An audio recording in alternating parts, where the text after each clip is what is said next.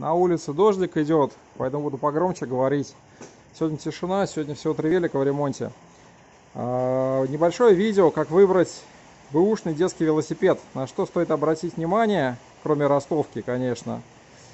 Подходим к велосипеду, крутим колеса, хотя бы вот в таком положении. Если колеса крутятся хорошо, значит все отлично. Потом берем колесо и пытаемся его смещать относительно вилки вперед-назад. Если оно не люфтит, значит со стулкой все более-менее прилично. Лучше, конечно, всего снять э, колесо из вилки, взять за гаечки и покрутить гаечки, почувствовать, как там все хрустит. И колесо плохо, но если оно вот так вот нормально работает, и люфта нету, то для ребенка на 2-3 года такое колесо отходит без обслуживания. Здесь немножечко там песочек немножко похрустывает, но за два колеса отдать сейчас за переборку 600-800 рублей вместе с заменой подшипников конусов нецелесообразно. То же самое заднее колесо. То есть мы его взяли, покрутили, крутится хорошо. Да, мы его туда-сюда подвигали. Ну, чуть-чуть минимальный люфт, совсем крошечный. То есть вот, вот так вот я взял одной рукой, да, вперед-назад, вперед-назад. Там люфт буквально доли миллиметра. То есть такое колесо 2-3 года отходит без обслуживания. Дальше крутим, смотрим, как тормоза работают. То есть нажимаем на ручки тормозные. Да, смотрим сюда на зазорчики. Вот у нас, видите, все хорошо. Это я уже настроил. Если у вас плохо тормозит, если у вас ротор чиркает, это не проблема, это все можно настроить, обратившись в мастерскую, это недорого. То есть вот обслуживание этого велосипеда вышло на данный момент 400 рублей. Это я настроил передний тормоз, поправил передний ротор, настроил задний тормоз, поправил задний ротор. И рулевая была полностью, то есть вилка вообще вот так вот болталась, то есть берешь за руль, она полностью болтается. Я ее разобрал, всю старую смазку удалил, все обезжиривателем промыл, нанес новую смазку, все собрал, протянул, поднял, видите, насколько сразу вверх руль, потому что ребенку будет так удобнее, он повыше немножечко, чем было изначально. Все обратно затянул, все отлично. И дальше смотрю переключатели в каком состоянии, то есть погнутая ли вот эта рамка, насколько она ровно стоит. Вот здесь, видите, она стоит чуть-чуть в бок. Это не критично, переключатель работает. Задний переключатель то же самое. Сзади подходим к велосипеду, смотрим вот сюда. Видите, как он загнут? Э, немножечко кривое крепление, но при этом переключатель работает более-менее адекватно. В принципе, я настраивать ничего не буду.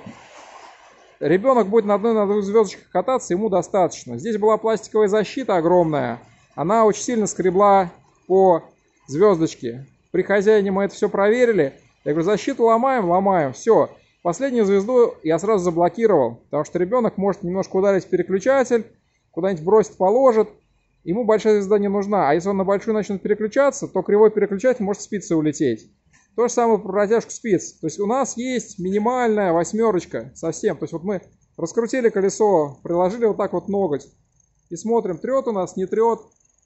Видите? Буквально пару миллиметров. Обода у нас не под ободной тормоз, а под дисковый. Поэтому править восьмерки мы не будем, экономим деньги клиенту. Дальше смотрим по крышке, стертые, не стертые. Ну вот здесь вот протектор подстертый, но опять же на одно лето ребенку покататься достаточно. То есть исходя из того, что ребенок покатается хотя бы один сезон, больше вложений никаких, кроме настройки тормозов и рулевой, не требуется. Но рулевой обязательно надо было протянуть, обязательно сделать, потому что мало ли что тут открутится, разболтается. Зубы очень дорогие. Если вылетит вилка, будет плохо. Все, седло целое, ручки целые. То есть мы проверяем тормоза, что все работает. Мы проверяем переключатели, что все работает. И проверяем колеса. Также надо желательно посмотреть каретку. То есть мы берем за шатун, и вперед-назад его относительно рамы. То есть одной рукой держим раму, второй рукой держим шатун и начинаем вперед-назад вот так вот дергать. Если у нас здесь вот внутри что-то там болтается, значит, скорее всего, либо потребуется переборка, либо потребуется замена этой запчасти. Это еще деньги. То есть, в принципе, любой велосипед можно починить, но нужно сразу понимать, что любая работа стоит денег, любая запчасть стоит денег. Сколько вы в этот велосипед вложите, может быть дешевле купить новый велосипед в магазине или там через интернет заказать.